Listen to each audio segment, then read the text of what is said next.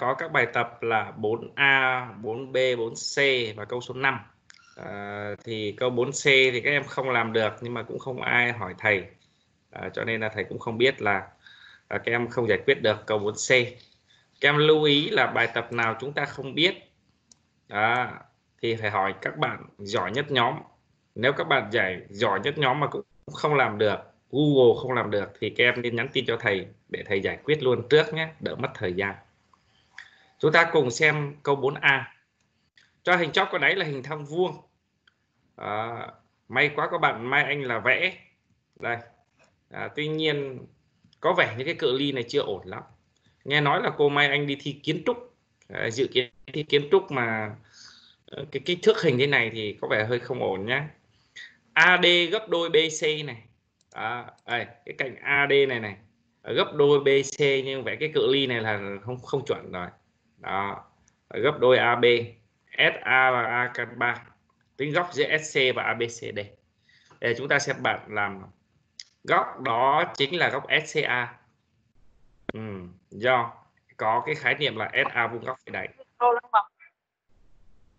rồi bây giờ để tính được góc SCA này chúng ta đã có cạnh SA chúng ta cần thêm cạnh AC bây giờ thầy bổ sung thông tin uh, cho bạn Mai Anh.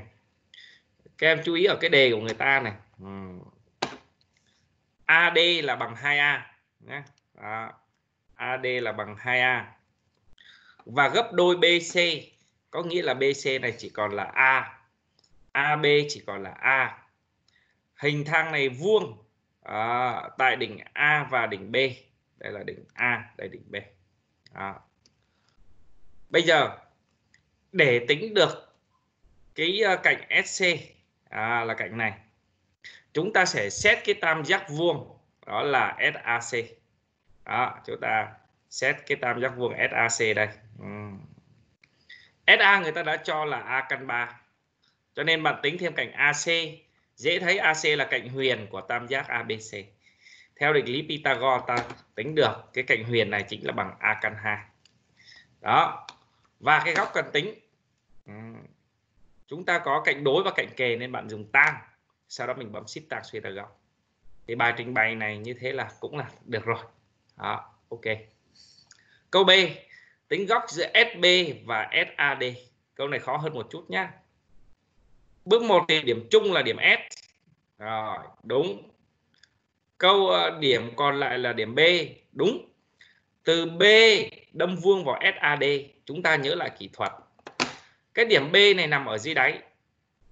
Mặt phẳng SAD thì chính là một bức tường. À, mặt phẳng SAD là bức tường. Từ dưới đáy mà đâm vào bức tường thì chúng ta phải đâm vào chân tường. À, chân tường là cái chân AD này này. À, và ta đâm trúng vào chữ A luôn. Từ B đâm vuông góc vào AD trúng chữ A. Nên góc BSA là chính xác. Rồi có được góc BSA rồi thì lại có cạnh đối là A căn 3 và cạnh kề là A. Cho nên tăng bằng đối chia kề. À, đối bằng rồi. A. Ừ, tăng mà. BSA à sorry BSA là góc trên này này. BSA như vậy đối là A. Rồi đúng. Ok. Bài của bạn Hà Phùng Đoan Trang là cũng đúng luôn. Ừ. Bây giờ thầy sẽ sửa cho các em ở câu C nhé thầy ghi lại các thông tin này. Đây là A à, đây là 2A đây là A. Yêu cầu là tính góc giữa SD à, với lại SAC ừ. thì chúng ta viết ra ừ. góc giữa SD à, với lại SAC điểm chung có hai chữ S giống nhau thầy lấy điểm chung ra giữa. Điểm còn lại là điểm D. Đó, chắc chắn phải như thế này rồi. Và bây giờ câu hỏi là cái điểm ở bên phải là điểm nào? Vậy thì cái khó khăn của các em là um, từ D đâm vuông vào SAC thì nó vuông vào chỗ nào? Nhá. Ờ, câu rất khó là từ D đâm vuông vào mặt SAC thì đâm vào đâu? Thì lại nhớ cho cái anh SAC này này có chứa SA là đường cao. Có chứa đường cao thì nó là bức tường nhé. Cái mặt mà chứa đường cao là bức tường. Vậy thì từ D muốn đâm vào bức tường em phải đâm vào chân tường AC à, nhiệm vụ của chúng ta là phải đâm vào cái chân AC ở đây. Thế câu hỏi là vậy đâm vào chỗ nào? Chỗ A chỗ C hay là một chỗ nào đó trên cái đường AC này? Thì ta cần thêm một chút lập luận như sau thầy gọi cái vị trí này là trung điểm của AD thầy tạm đặt tên nó là Y. Các em dễ dàng phát hiện ra. À, thầy hỏi một bạn xem nào. Cái hình ABCI là hình gì? Mời bạn Bùi Thị Thùy Linh chưa trả lời được câu này này. Thầy giao câu này cho Thùy Linh mà chưa comment được chưa trả lời được. Thế bạn Linh trả lời cho dạ. thầy là ABCI là hình gì? Dạ em chào thầy ừ.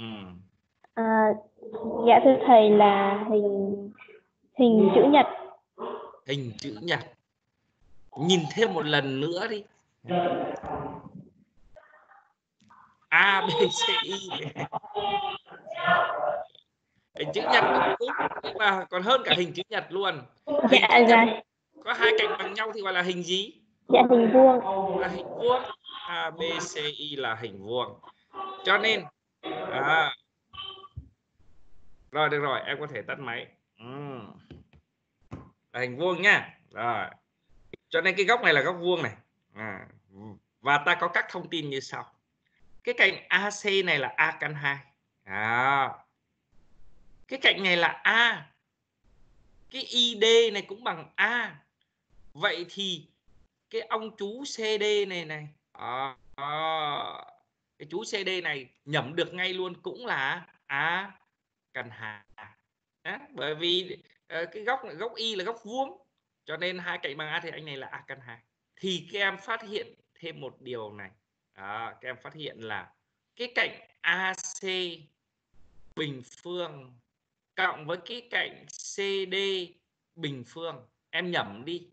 AC bình là 2A bình CD bình nữa là 2A bình vậy cộng lại có phải là bằng 4A bình không? À, bằng 4A bình.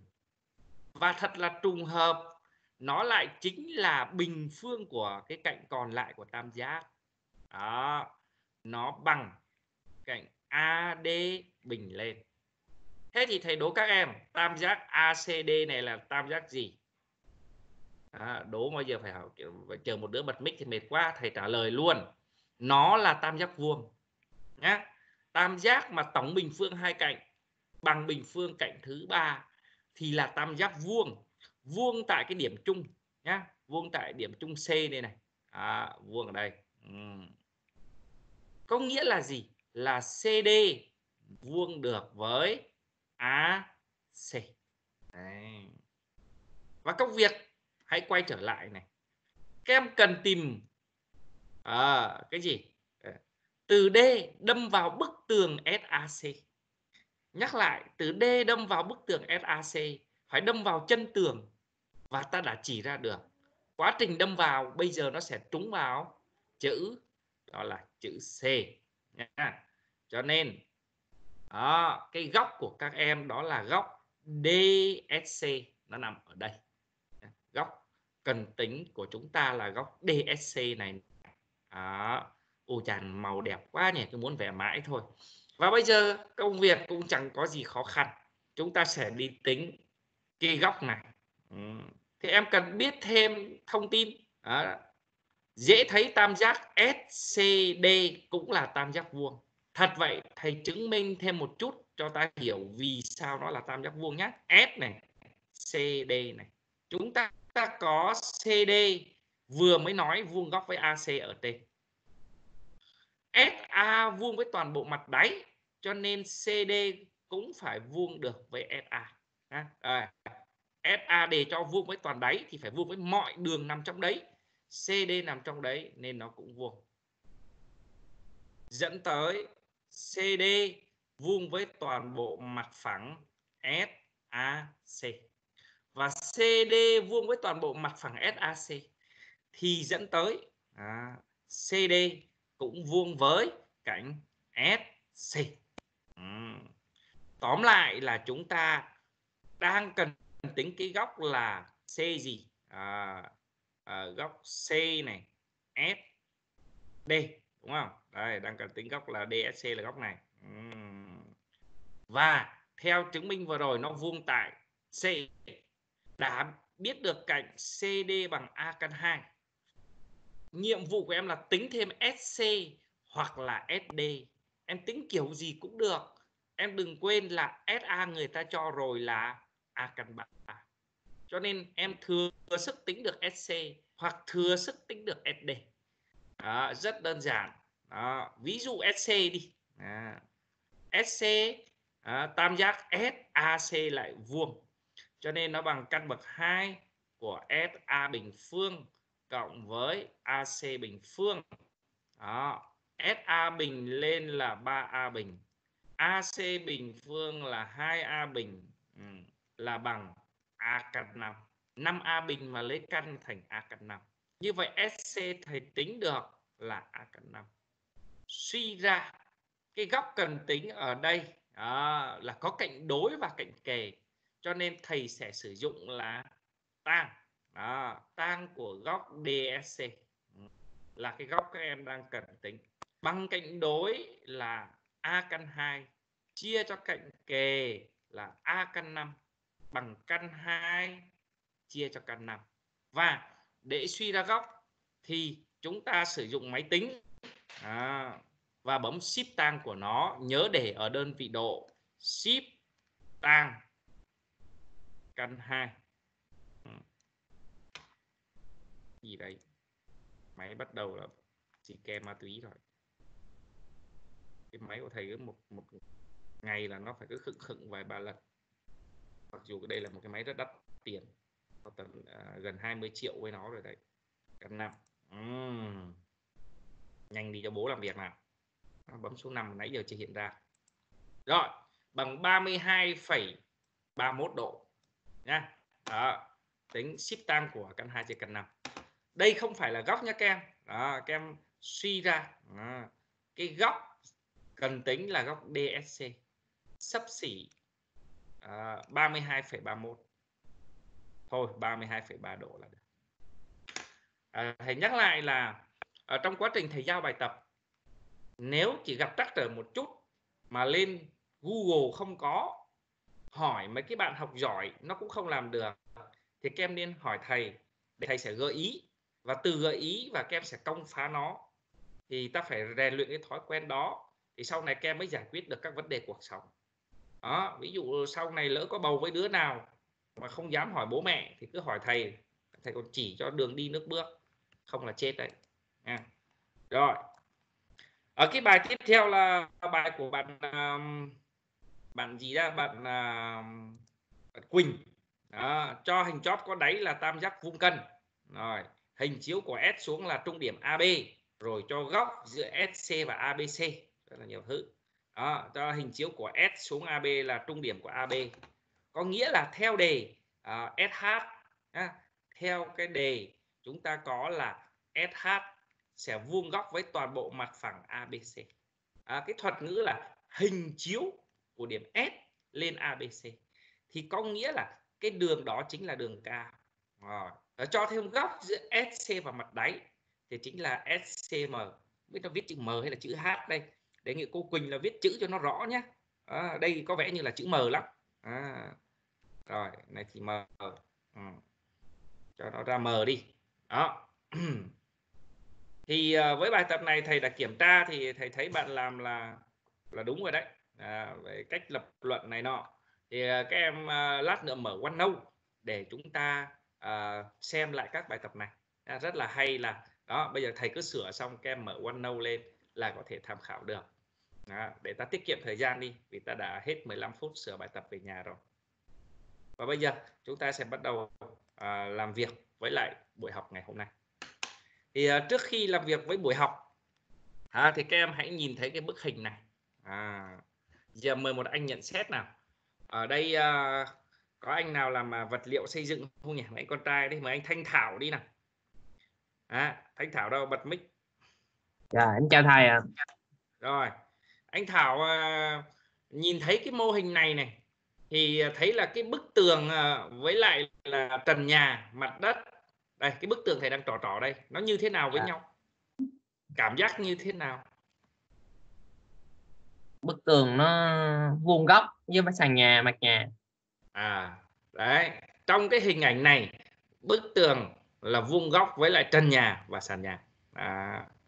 tương tự à, chúng ta cũng thấy đây là một thùng mì tôm. Ông nào chưa ăn tối thì thấy nó sẽ hơi đói nhá. Thầy cũng hay ăn đêm với mì tôm. Rồi. Và đây là cái tủ. Các em thấy rằng các cái bề mặt của nó đây ví dụ cái bề mặt hào hảo này với bề mặt này nó vuông vức với nhau.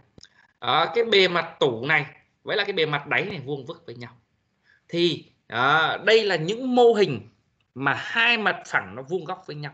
Vậy thì câu hỏi là làm sao để chứng minh được để xác định được chắc chắn một điều là hai mặt phẳng đó là vuông góc? Hoặc nếu không vuông góc vậy thì nó tạo với nhau một góc bằng bao nhiêu? Đó là vấn đề ngày hôm nay chúng ta sẽ nghiên cứu. Chúng ta đến với bài thứ ba. À, và ta chỉ còn hai bài nữa là kết thúc hình học 11 đã, các đồng chí báo cho tim buồn là như thế. Chỉ còn có hai bài nữa nhưng mà phải học tới tháng 8 đấy à, à lộn tới tháng 7 ừ. cho nên ta phải uh, từ từ à, chịu khó cày bừa bài tập chứ không, không có việc làm đâu. Ừ. để dẫn dắt tới được hai mặt phẳng vuông góc à, trước hết chúng ta đưa ra khái niệm góc giữa hai mặt phẳng người ta đo như thế nào. Phần này thầy chỉ giới thiệu qua thôi. À, nếu hai mặt phẳng cắt nhau. Um, tức là không song song nhé không trùng nhau. À, bởi vì hai tình huống đó sẽ là quy ước riêng. Thì người ta quy ước là góc giữa hai mặt phẳng là góc tạo bởi hai cái đường vuông góc với hai mặt đó. Mặt màu xanh có đường D1 vuông góc mặt màu tím có đường D2 vuông góc. Thì góc giữa hai mặt phẳng alpha và beta chính là góc giữa hai đường thẳng D1 và D2 bây giờ thầy hỏi kiến thức cũ một chút xem các đồng chí còn nhớ gì không mời Nguyễn Thanh Xuân Huyền bật mic nào Dạ em chào thầy ạ. Rồi, hai đường thẳng thì tạo với nhau một góc nằm trong phạm vi từ bao nhiêu tới bao nhiêu độ? Góc giữa hai đường thẳng, cái này tiếp từ lớp 10 á. À, góc giữa hai đường thẳng nằm trong phạm vi từ bao nhiêu độ tới bao nhiêu độ. Nhưng mà lớp 11 vừa rồi cũng học rồi. À. Có trả lời được không? Không nói không dạ. luôn cho mau. Dạ em thôi là không ạ. À không, rồi cảm ơn cô Huyền. Mời một ông nữa đi. Uhm. Nguyễn Thị Hồng Thắm nào. Có nhớ được góc giữa hai đường thẳng nằm trong phạm vi bao nhiêu độ không? Em thưa thầy là từ 0 đến 180 độ. À, rồi, cảm ơn bạn Thắm. Tuy nhiên, đây là câu trả lời chưa chính xác. Chú ý cho thầy một điều, góc giữa hai đường thẳng được quy ước chỉ nằm trong phạm vi từ 0 độ. Nó chỉ nằm trong phạm vi từ 0 độ cho tới 90 độ mà thôi. Với trường hợp 90 độ thì ta nói là hai đường vuông góc. Và do đó góc giữa hai mặt phẳng cũng vậy. Nó sẽ nằm trong phạm vi từ 0 độ đến 90 độ à, nếu trường hợp không độ là xảy ra khi nào? Khi hai mặt đó song song hoặc trùng nhau thì là không độ. Còn nếu 90 độ chính là cái tiêu đề của bài ngày hôm nay là hai mặt phẳng vuông góc. Rồi các em nhớ giúp thầy điều đấy. Chúng ta à, qua cái phần tiếp theo. Thông thường mô hình cơ bản nhất yêu cầu tất cả các em học sinh đều phải nắm là sẽ tìm góc giữa hai mặt. Mà một anh sẽ nhô lên. À, và một anh là nằm ở dưới đất. Nhé mô hình cấp độ cơ bản nhất đó là một mặt phẳng nhô lên và một mặt phẳng nằm dưới. Hãy nhớ kỹ thuật này trong sách giáo khoa không đề cập chỉ có thầy phát minh ra cái trò này để cho các em dễ hình dung và dễ tiếp cận thôi. Nhớ thật kỹ những gì thầy nói. Ừ. Đó là bước 1 xác định giao tuyến của hai mặt phẳng bước 1 xác định giao tuyến à, là cái phần màu đỏ đây Bước 2, từ cái điểm nhô lên, thầy hay đọc như sau. Từ trên chiếu xuống dưới. Nhá, thầy hay đọc như vậy. Từ trên tức là điểm nằm tít bên trên, chiếu xuống dưới. Từ dưới chiếu vào giao, chiếu có nghĩa là vuông góc nhé từ trên chiếu xuống dưới từ dưới chiếu vào giao thì ta sẽ tạo ra 3 điểm. Và cái vị trí này là góc vuông rồi. Đó, cho nên là góc, em cứ lấy nhớ ở đây, cái điểm cuối cùng á, chính là góc. Đấy, vị trí này chính là góc này nhé từ trên, bước 1 tìm giao tuyến. Bước 2 từ trên chiếu xuống dưới, thì ngay cái bước 2 này là được hai điểm kẹp hai bên của góc nhé ngay bước số 2 này là ta được điểm S và điểm H kẹp hai bên. Bước 3 từ dưới chiếu vào giao được cái điểm gì viết ngay ra giữa. À, xong đây là quá trình tìm góc nó dĩ nhiên là không đủ cơ sở uh, lý luận vì sao nhưng đây là cách để các em có thể định vị được góc giữa hai mặt một cách tối ưu nhất. Trong trường hợp đặc biệt giả sử như là SH đã trùng bố vào SK thì sao? Nhá ờ, vẫn có trường hợp đó mà. À, giả sử như là quá trình em chiếu xuống lại không may ờ, nó lại nằm luôn vào cái mặt SAB nhá đây. Đó, bình thường nó chiếu là nó lệch ra bên ngoài. Bây giờ hắn hắn chui tọt vào mặt SAB tức là điểm H nó trùng vào điểm K. Thế thì lúc này này nó chính là cái mô hình bức tường và nền nhà. Bởi vì nó có chữ đường cao nhá. lúc này SH là đường cao nên cái mặt này là bức tường. Mặt này là nền nhà. Mà chúng ta biết là bức tường và nền nhà thì phải vuông góc nhặt đó cho nên cái trường hợp mà em chiếu xuống lại thấy nó lọt luôn vào cái mặt này tức là em không tìm được thêm điểm H nữa. Ừ. À không tìm được thêm điểm K nữa. À, thì đó chính là trường hợp hai mặt vuông góc. Và nhớ cho thầy điều này. Nếu mặt này chứa một đường vuông góc với mặt kia nhá mặt này chứa một đường vuông góc mặt kia thì hai mặt đó vuông góc. Và đây chính là cách thức để chứng minh hai mặt vuông góc. Và chốt lại vấn đề ngày hôm nay. Các em cần nắm cho thầy hai việc một là làm thế nào để xác định góc giữa hai mặt. Hai làm thế nào chứng minh hai mặt là vuông góc. Và chúng ta sẽ lần lượt làm các ví dụ để uh, chúng ta nhớ cái kỹ thuật. Ví dụ đầu tiên cho hình chóp tam giác. À, đấy là tam giác ABC thầy nhắc lại kỹ thuật vẽ đó là cái tam giác em phải nhô đỉnh ra bên ngoài. Cái đường ngang nằm trong này là nét đứt. Đáy vuông tại B thầy vẽ góc vuông vào đây ở đây là do lỗi kỹ thuật, không biết sao mà nó không không hiện ra được khi thầy chiếu, chứ đây là ký hiệu góc nhá. Thật quy ước là cứ thấy cái màu này là góc biết vì sao mà nó hiện không lên được thì không thể khắc phục được. Rồi SA bằng A AB bằng A. Góc ACB 30 độ ACB góc này các em 30 độ.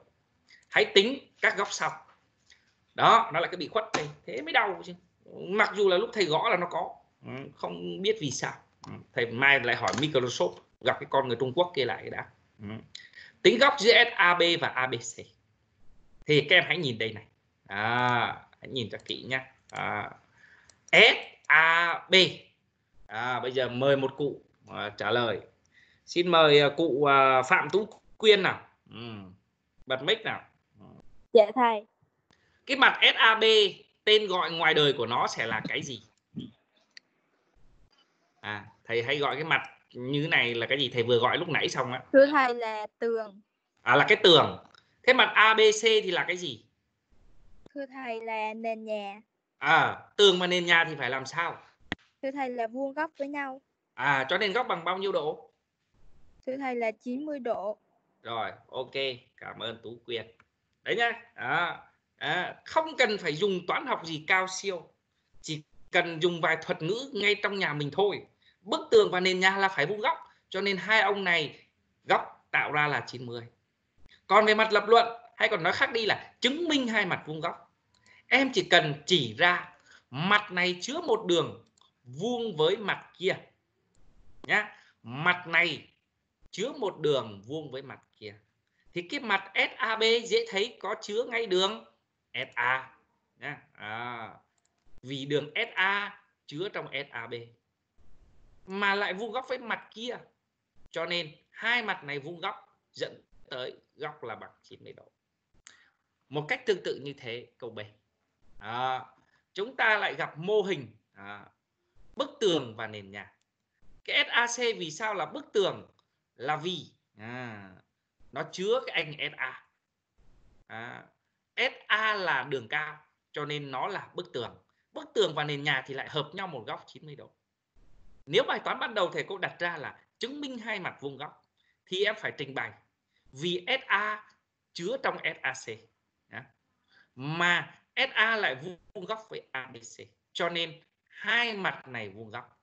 Đó, chúng ta à, nếu và bài toán chứng minh là tới đây mình được quyền kết luận là SAC vuông góc với ABC hay nói khác đi, góc giữa chúng là bằng 90 độ rồi, đây là hai mô hình cực kỳ đơn giản.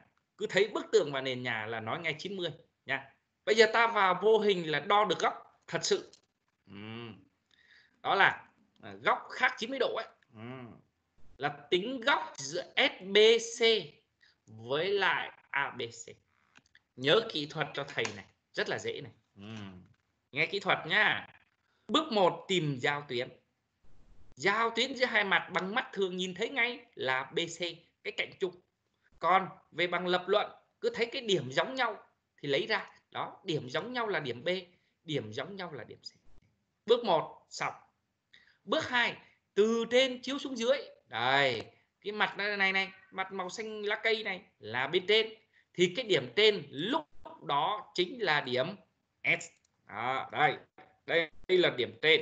Từ trên mà chiếu xuống dưới dễ thấy ngay đó chính là điểm A. Đó từ trên chiếu xuống dưới thì có nghĩa là SA vuông góc với nền nhà từ dưới chiếu vào dao từ cái điểm A này chúng ta phải chiếu vào dao BC à thì dễ thấy ngay theo đề.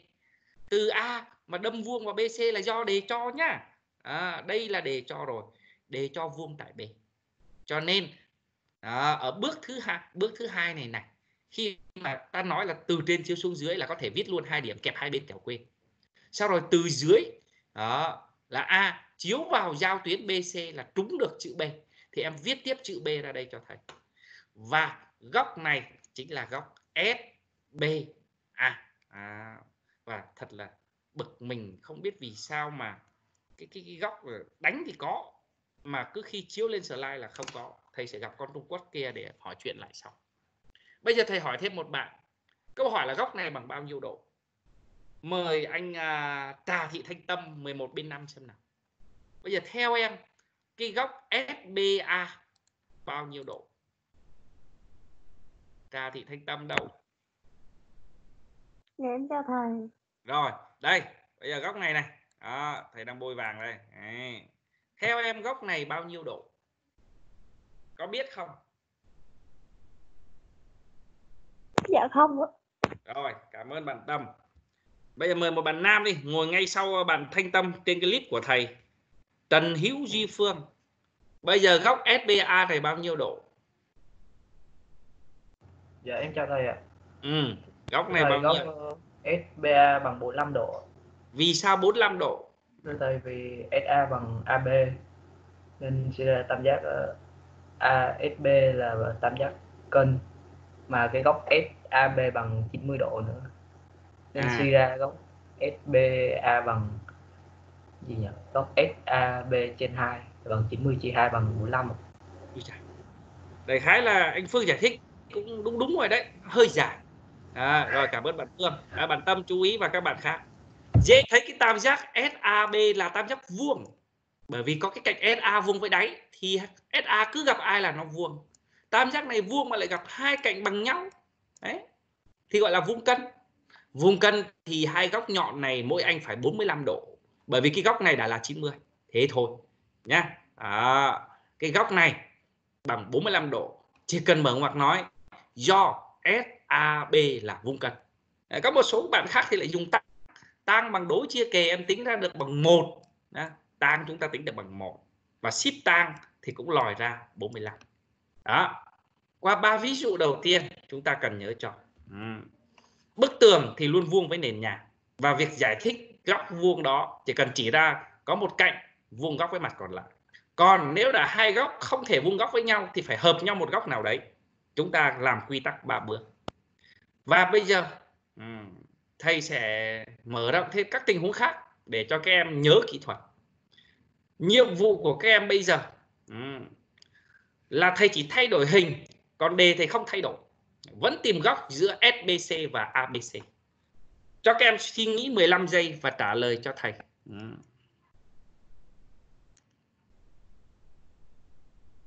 Chúng ta còn 10 giây. Chúng ta còn một giây. Và bây giờ mời bạn Lê Thị Mỹ Linh trả lời cho thầy. Theo cái hình vẽ này thì góc giữa SBC và ABC là góc nào? Lê Mỹ Linh đâu rồi? Em chào thầy ạ. Rồi, đã xác định được góc chưa? Em thưa thầy là có góc B chung. Tóm lại là góc gì? Đọc tên góc luôn. Đã tìm được chưa? Dạ chưa ạ. Chứng tỏ này giờ là đang ngồi bấm chat chít hoặc lướt Facebook rồi. Thế nói cho thầy ba bước xem nào. Bước một làm cái gì? Bước một làm gì? À, nãy giờ có nghe đâu. À cô Lê Mỹ Linh đâu rồi? Quay trở lại. Dạ đây ạ. Một, bước một làm cái gì? Em thưa thầy là Thế bước hai. Cũng quên luôn. Rồi ngồi tập trung nghe đấy. nằm mà chat chít với cái thằng Parker đâu. Mời bạn khác đi. Uhm, chà. Mai Thu Huyền xem nào. Xem uh, cô này có đang theo dõi vấn đề không. Thưa thầy ạ. rồi góc là góc nào? Đọc nghe thầy coi Thưa thầy là góc SCA. SCA bây giờ em nói cho thầy bước một em làm gì Thưa thầy bước một là tìm giao tuyến ạ. giao tuyến là được cạnh nào Cạnh BC ạ. Rồi, bước 1 giao tuyến BC, cô Lê Mỹ Linh giỏng tai lên nghe nhá. Và các anh khác nữa. Bước 2. Bước hai là tìm điểm à, tìm uh, điểm mà S vuông góc với AB cạnh đáy là SA. Bước 2 là từ trên là S, chiếu xuống dưới là A. Rồi, bước 3. Bước ba là A uh, chiều xuống dưới cạnh B uh, giao tuyến ạ. Từ dưới chiếu vào giao thì theo cái hình này trúng vào chữ gì? Ạ. À, chữ C. Đấy nhá, các bạn khác chú ý nhé. Đó nó ba bước rất là rõ ràng về đường đi. Thì góc này là cái điểm cuối cùng ấy chính là điểm giữa của góc. Các em nhớ cho thầy. Đó, nhá. Từ trên chiếu xuống dưới. Từ dưới chiếu vào vào Điểm cuối cùng chính là điểm giữa của góc. Nhớ nha. Đấy. Cho nên góc là góc SCA. À. Cảm ơn uh, cô Mai Thu Hiền. Đây là mô hình cơ bản nhất. Lên lớp thầy cô hay ra nên thầy lưu ý. Rồi. Bây giờ mô hình thứ ba. Thầy vẽ như thế này có nghĩa là cạnh AB bằng cạnh AC. Hãy suy nghĩ 15 giây và cũng trả lời cho thầy góc giữa SBC và ABC là bằng cái gì?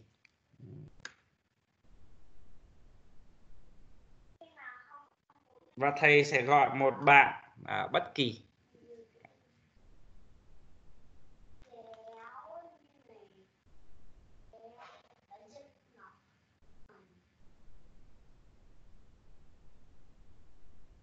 một anh con trai xem nào. À, Trần Trọng Tín nào?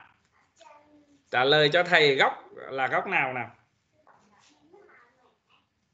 Em thưa thầy là góc uh, BSC BSC cơ sở nào để em nói rằng đó là góc BSC bây giờ em làm cho thầy ba bước nào. Bước một giao tuyến là ai Dạ, giao tuyến là BC. Rồi, bước 1 giao tuyến là BC. Bước 2 làm cái gì? Bước hai là từ ờ, điểm trên ta vẽ điểm trên ta chiếu xuống. Từ trên chiếu xuống thì được cái gì? Được những Dạ. điểm nào? Được uh, ứng với điểm S ứng với đường SA. Rồi, từ trên chiếu xuống dưới là SA thì chữ S và chữ A phải kẹp hai bên chứ. Sau cái À. bước này thì chữ S và chữ A là kẹp hai bên. Rồi tiếp theo, Ta từ điểm mà từ điểm A ta chiếu vào ờ, giao tuyến. À, chiếu thì trúng vào chỗ nào? dạ, ở chính giữa. Chính À. giữa của BC điểm. Lý do tam giác ABC là cân nên từ A đâm vuông vào BC thì phải vuông vào trung điểm nhá các em chú ý nhá. Từ A đâm vuông vào BC thì phải vuông tại trung điểm. Và cái điểm này nó chưa có tên thì chúng ta đặt đại tên là M đi. Và ta phải trả lời góc đó là góc SMA chứ không phải tự dưng nhắm mắt trả lời BSC đâu nha anh tín. Dạ. bùng phát uh, BSC đấy. Thầy đã làm cho các em ba ví dụ liên tiếp. Và ba ví dụ này đều tuân thủ một nguyên tắc duy nhất. Và thề luôn không có ông thầy nào trên cái đất nước này dạy như vậy cả và bằng kinh nghiệm 30 năm đi dạy của mình là thầy thấy là thầy dạy thế, ai cũng định vị được góc. Chỉ có các vị ngồi nãy giờ vẫn chưa hiểu thôi. Rồi, chúng ta tiếp tục với câu tiếp theo. Câu D. Theo treo giải lấy điểm 15 phút luôn. Ai làm được? Chúng ta bật mic trả lời. Thầy cho các em 2 phút. Bây giờ đồng hồ của thầy là 8 giờ 7 phút rồi 8 giờ 9 phút là chúng ta dừng.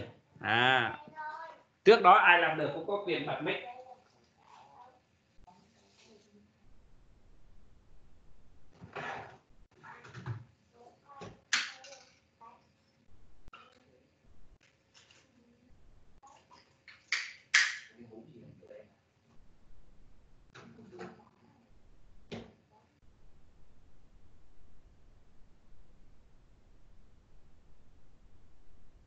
Câu này hơi khó hơn một tí đấy.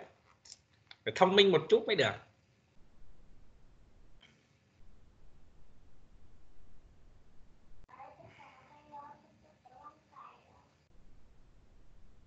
Và thông báo các em là sở vừa mới gửi văn bản là giảm bớt số điểm kiểm tra. Chúng ta được bớt đi một cột điểm. 45 phút 4 cột thì chỉ còn 3 cột. Một tiết 3 cột thì chắc là lui về hai cột hình như là vậy, thầy chưa đọc văn bản, thầy nghe mang máng thế thôi.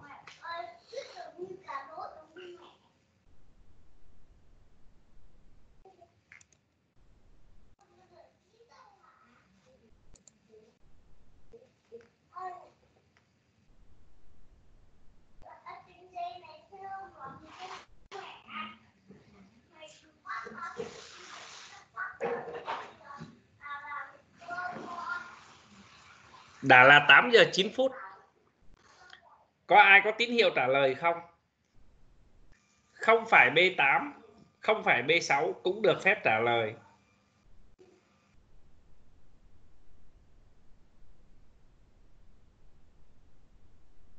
Bạn Huyền, bạn Quỳnh, bạn Nguyên có câu trả lời không? Đỗ Như Quỳnh làm được không?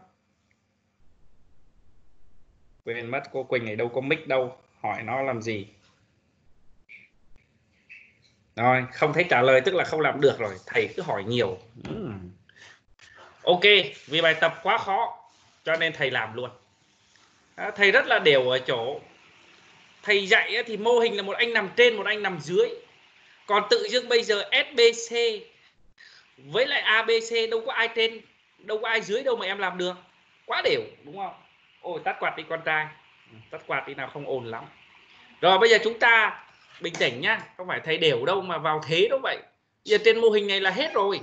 À. đó là bước 1 tìm giao tuyến. Đây, các em thấy ngay SB SB giống nhau. Nên giao tuyến chính là SB vấn đề, sự giờ trên ở đâu? Thì cái mẹo là như sau nhá à, trong hai mặt này mặt nào chứa đường cao em cho nó nằm bên trên thầy này mặt S không hề chứa đường cao SA đường cao của chúng ta là đường SA nha. À. Thì cái mẹo là cứ mặt nào chứa đường cao em cho nằm dưới cho thầy. Cho nên thầy sẽ đổi thế một tí. À. Ủa cái hình đâu rồi? Uhm. Ở cái hình SBC và SAB đâu rồi nhỉ? À, thôi rồi thế thì à, thầy à, chờ một tí thầy thầy thầy vẽ phát họa lại cho các em xem. Uhm, sao lại chưa vẽ nhỉ? Rồi đây này. Bây giờ thao tác là chọn cái mặt nào nằm trên và mặt nào nằm dưới thì mặt nào chứa đường cao nằm dưới.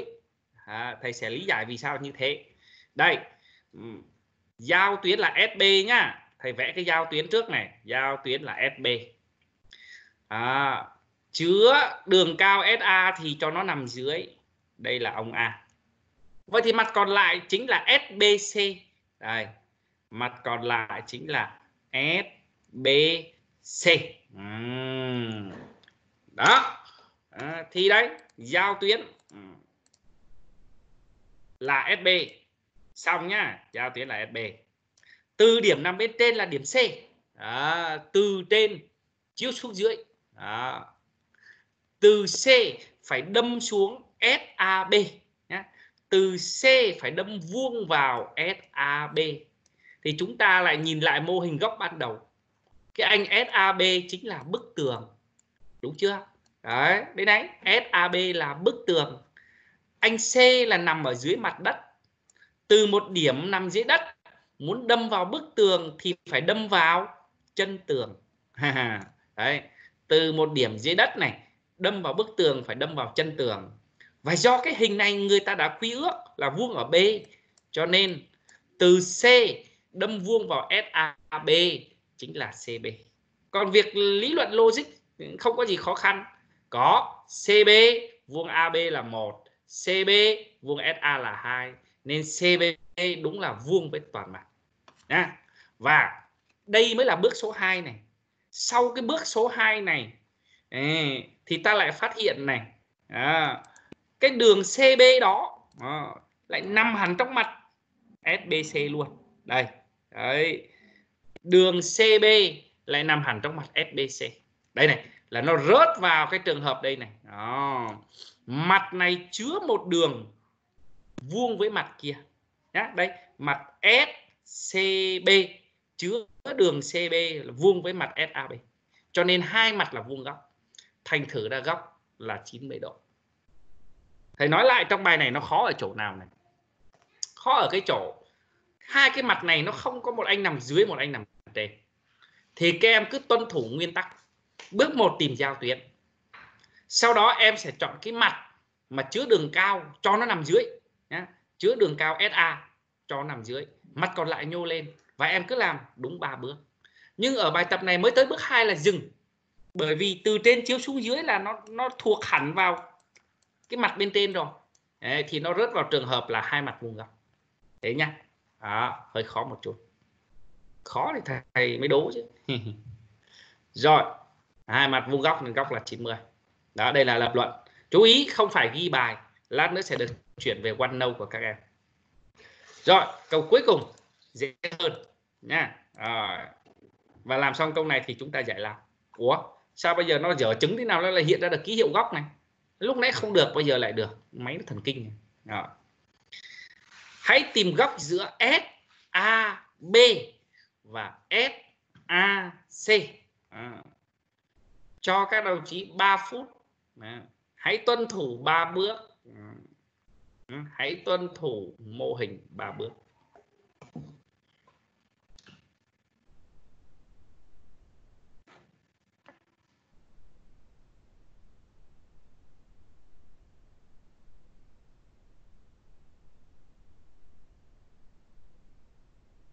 Bạn nào làm xong thì chúng ta bật mic. À, và báo câu trả lời.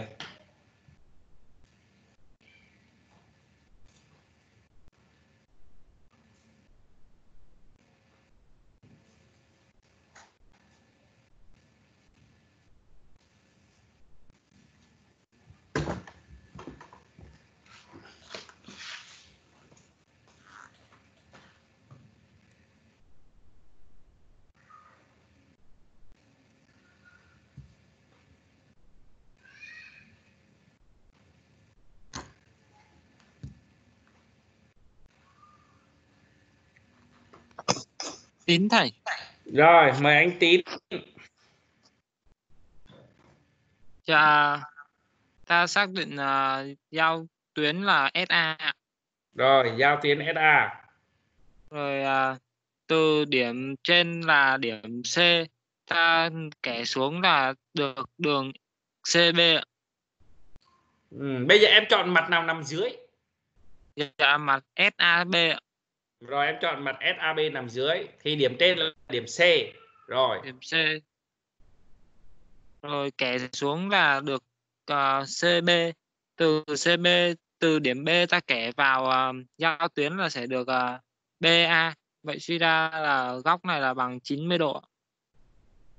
PA tóm lại em nói là góc 90 độ đúng không?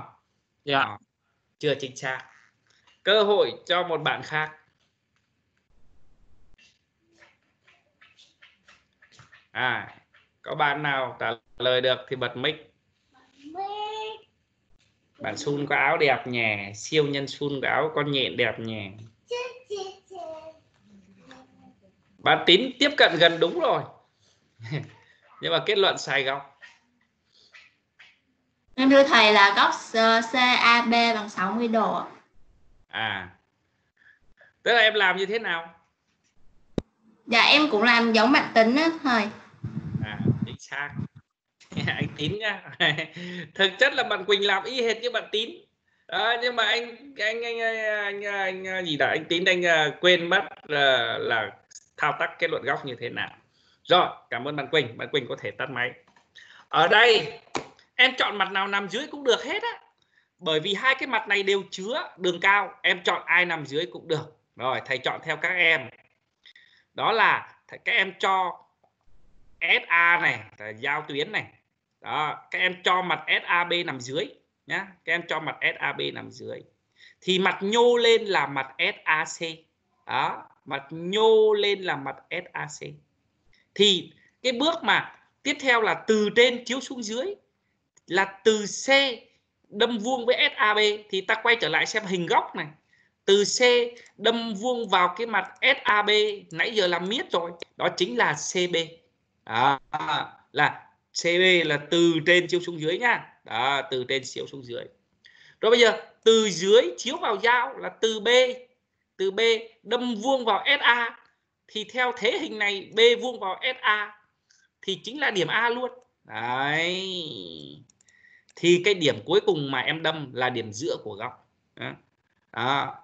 Ở bước 2 này là lập tức viết được hai điểm nằm hai bên này. Bước 3 từ dưới này từ trên là C, chiếu xuống dưới được là B. Rồi từ dưới là B, đâm vào dao là SA thì đâm chính vào điểm A. Điểm A nằm ở giữa. Và cái góc của ta là góc CAB CAB nãy giờ có cái chú 30 độ này chưa xài tí nào này. Đó, bây giờ mới dùng đấy các em ạ. À.